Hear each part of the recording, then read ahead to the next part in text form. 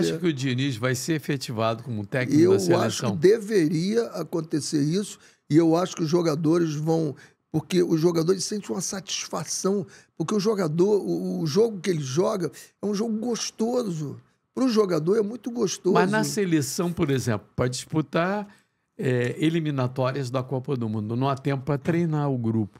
Hum. Quer dizer, o time do Diniz tem a cara do Diniz porque treina.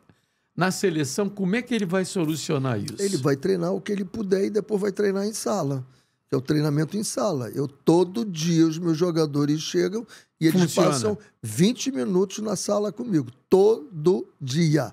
Ah, o jogador cansa? É, se você for repetitivo, ele cansa. Agora, se você for um, um, um camarada que é criativo, então todo dia nós temos uma conversa e conversa de futebol.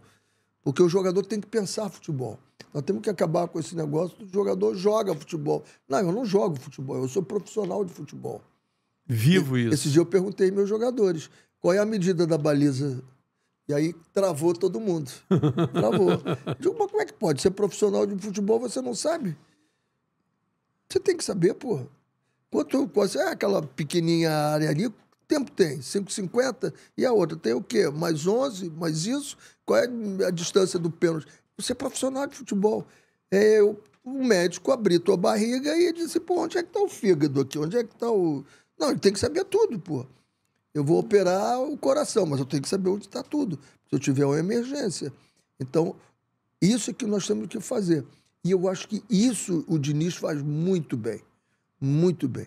A semana que eu passei lá, todo dia, todo dia ele tinha um papo com um, dois, um, dois, um, dois, o tempo todo. O tempo todo tem alguma coisa. Ele é o, é o ser humano que ele trabalha. Eu acho que os jogadores virão para a seleção com muito prazer. Gostou desse corte? Agora não se esqueça de se inscrever no canal, dê um like, compartilhe e ative o sininho. Aí você sabe de tudo do Cheguei Podcast, o podcast do Garotinho.